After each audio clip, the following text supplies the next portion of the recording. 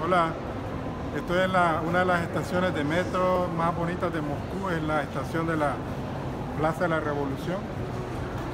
Eh, una de las más largas y trata de explicar el pasaje histórico desde la guerra hasta la paz y todo lo que ha acompañado a Rusia y la Unión Soviética. Este es el perro que todo el mundo toca porque dicen que da suerte. Viene de la época de los estudiantes que creían que tocarlo daba suerte. Así que es muy tradicional que todo el mundo lo toque. Por eso está sin nada de pintura. Y hay cuatro perros a la orilla de la estación que hacen lo mismo la gente. Hola, chao.